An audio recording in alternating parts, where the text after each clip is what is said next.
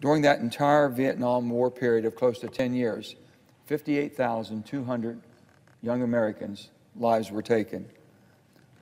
Just last year alone, one year, last year alone, we lost more than 72,000 people to a drug overdose. 72,000 in one year. 49,000 of those people were killed by opiates, heroin, and fentanyl in 2017. That's an average of 134 people dying of an opiate overdose every day. It's a silent killer.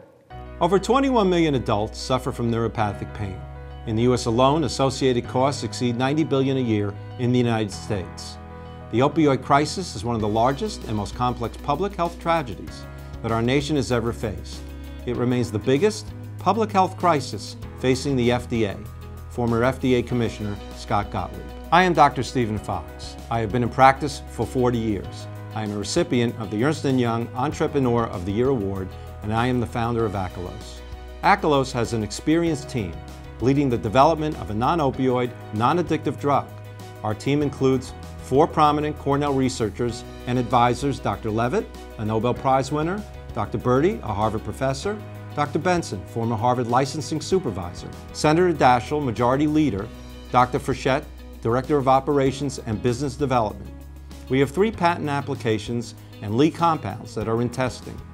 Pharma giants are investing in non-opioid pain assets. The market is projected to reach 8.3 billion by 2024. Pharma interest in the non-opioid space provides opportunities for strategic partnerships, licensing, and M&A within five years.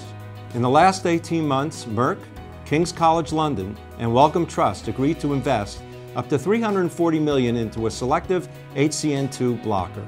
Kineta, Chronic Pain, and Genentech agreed to invest up to 359 million into non-opioid therapeutics. Centrexion Therapeutics and Eli Lilly agreed to invest up to 575 million into somatostatin receptors. Patients with neuropathic pain have limited treatment options.